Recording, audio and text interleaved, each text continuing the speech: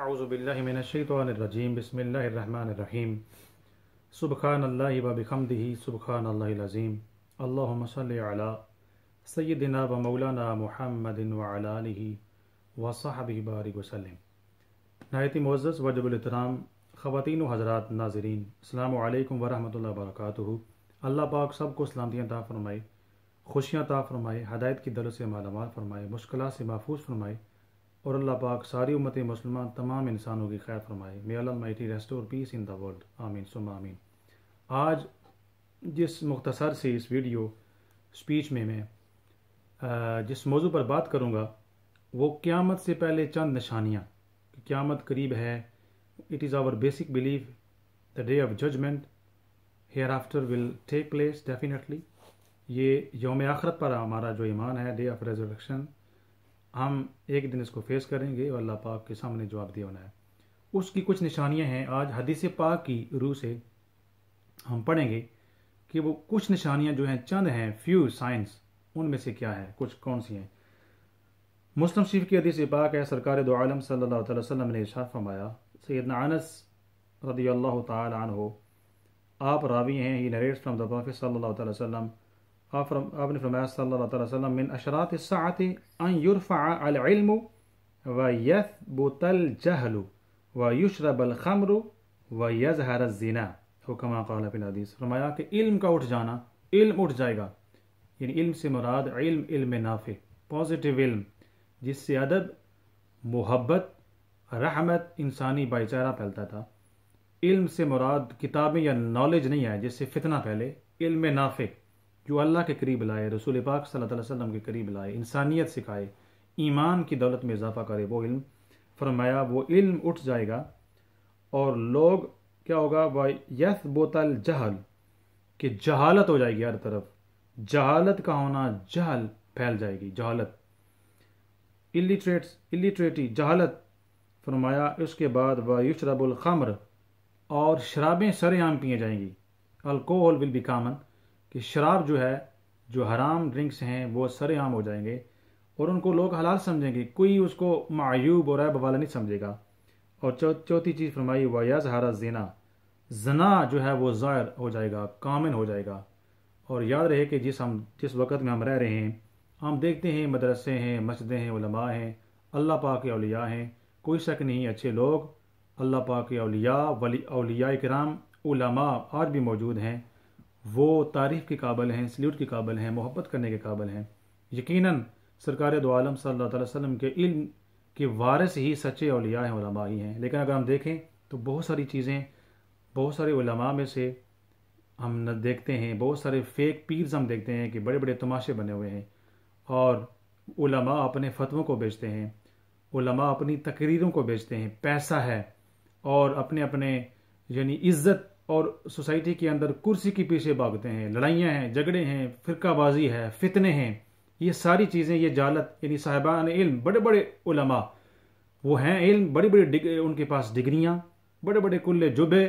لیکن جب وہ بات کرتے ہیں تو گالی دیتے ہیں، بات کرتے ہیں تو لوگوں کو آپس میں لڑوانے کی۔ بات کرتے ہیں تو امت کے اندر تفرقہ بازی، امت کو توڑنے کی۔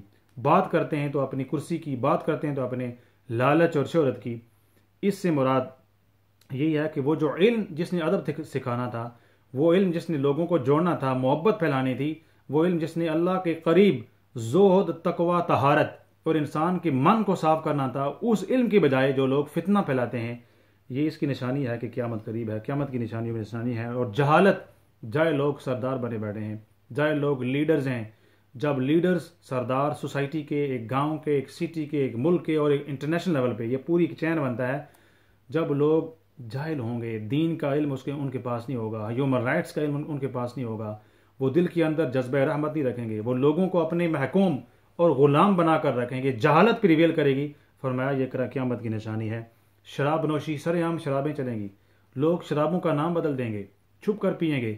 اور شرابیوں کے ساتھ، بڑے بڑے گنڈوں کے ساتھ تعلق کو لوگ جیسے آج کے دور کے اندر وہ جناب فوٹو بنواتے ہیں، فلاں بڑے کے ساتھ ہمارے تعلق ہیں۔ جی یہ ہے جی وہ ہے۔ برا نہیں جانیں گے سر عام۔ فرمایا، یہ قیامت کی نشانیوں میں سے نشانی ہے۔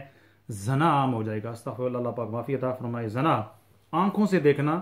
کسی بے حجائی کو آنکھوں کا زنا، کانوں سے سننا، کانوں کا سن، زنا۔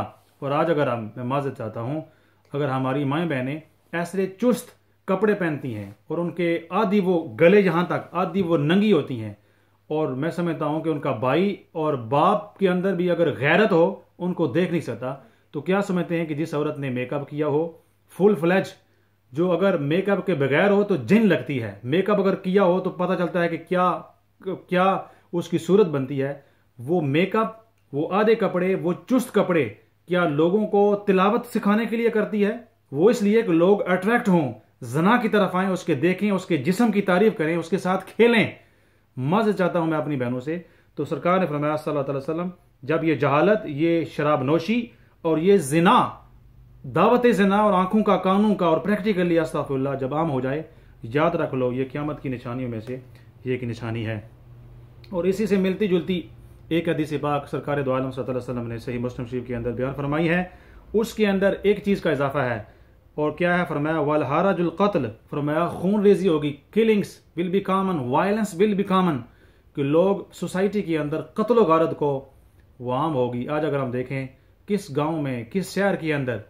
I belong to Pakistan my background in Pakistan and if you see all countries wherever we living کتنے لوگ from top to bottom from west to east کتنے لوگ قتل ہوتے ہیں؟ پاکستان کی اگر بات کریں، کراچی سے لے کر پشاور تک کتنے لوگ قتل ہوتے ہیں؟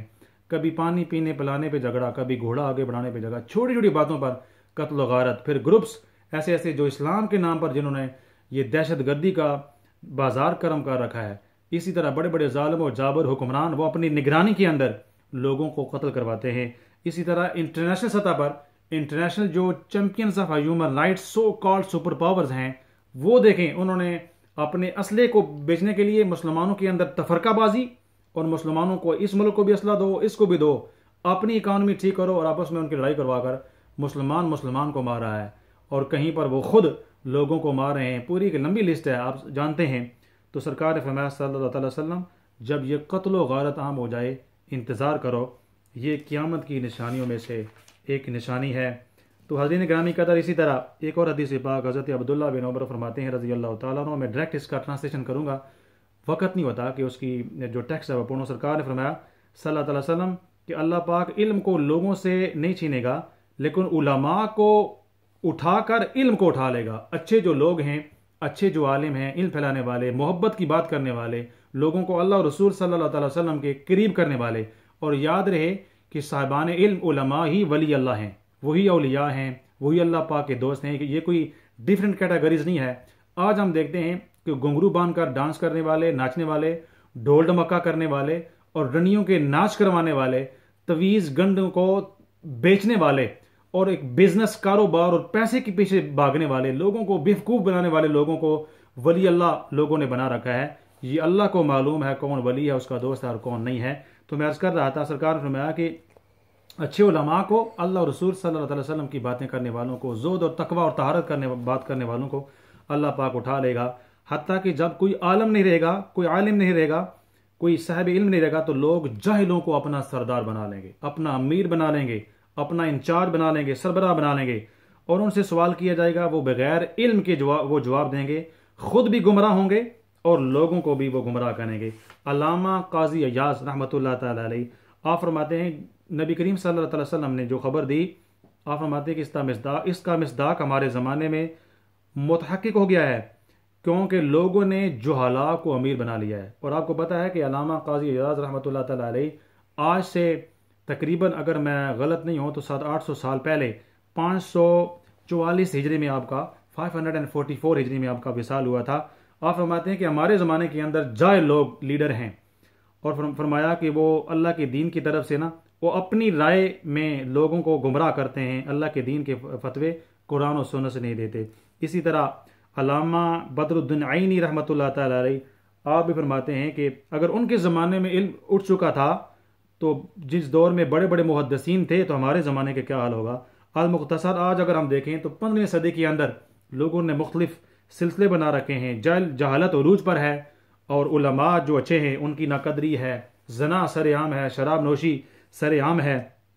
اسی طرح علامہ بدر الدین عینی رحمۃ اللہ تعالی علیہ مزید لکھتے ہیں یعنی اللہ تعالیٰ لوگوں کے سینوں سینوں سے علم نہیں نکالے گا، بلکہ علماء کو اٹھا لے گا۔ اچھے جو صاحبان علم ہیں رب تعالیٰ سے ڈرنے والے ہیں اولیاء اللہ ہیں، وہ چلے جائیں گے۔ بعد کے زمانے میں جیسے آج کے دور میں اچھے لوگوں کو چھوڑ کر اللہ کے ولیوں جو اچھے ہیں، وہ ہمارے بزرگ ہیں۔ ان کی پاؤں کی خاک جو ہے وہ بھی ہم سے بہتر ہے۔ لیکن اگر ہم دیکھیں تو آج کے مختلف سلسلے، مختلف ڈانسیں، ڈول ڈمکا اور پتن چف چف اور کاروبار اور بزنس اور جو ہم یہ سمجھتے ہیں کہ ہماری بیماری کا علاج وہ کریں گے، بچہ بچی وہ دیں گے، ہماری دنیا کے اندر عزت وہ دیں گے، رزق وہ دیں گے۔ اللہ سے لو لگانے کے بجائے ایسے جیلی لوگوں کے پاس جا کر ہم اپنا آخرت بھی اور ایمان بھی خراب کرتے ہیں۔ اسی طرف اشارہ اشارہ ہے حدیث پاک میں۔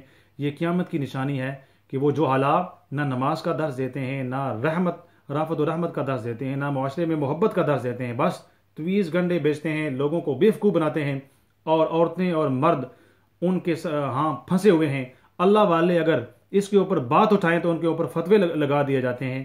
یہ لمحہ فکریہ ہے۔ نبی کریم صلی اللہ تعالی وسلم کا یہ بیان فرمانا کہ یہ یہ چیزیں عام ہو جائیں گے ہمارے اوپر یہ لازم ہے، فرض ہے۔ ہم ان چیزوں سے بچیں۔ صاحبان علم جو صحیح ہیں، اللہ رسول صلی اللہ تعالی وسلم کی بات کرنے والے، ان کے قریب ہوں۔ ان کے قریب بیٹھنا، ان کی زیارت بھی عبادت ہوتی ہے۔ اور ایسے جو لوگ جنہوں نے دین کو بزنس بنا رکھا ہے، ان سے دور رہیں۔ خواتین پردے کا اہتمام کریں۔ حلال چیزیں وہ وہ کھائیں، پئیں۔ شراب نوشی سے دور رہیں۔ اللہ تعالی ہم سب کا حامی و ناصر ہو۔ اللہ پاک ہماری ہمارے آنے والی نسلوں کی خیر فرمائے اور اللہ پاک ہم سب کے اوپر رحم اور کرم فرمائے۔ جزاک اللہ خیر علیہ البلاغ۔ Thank you for listening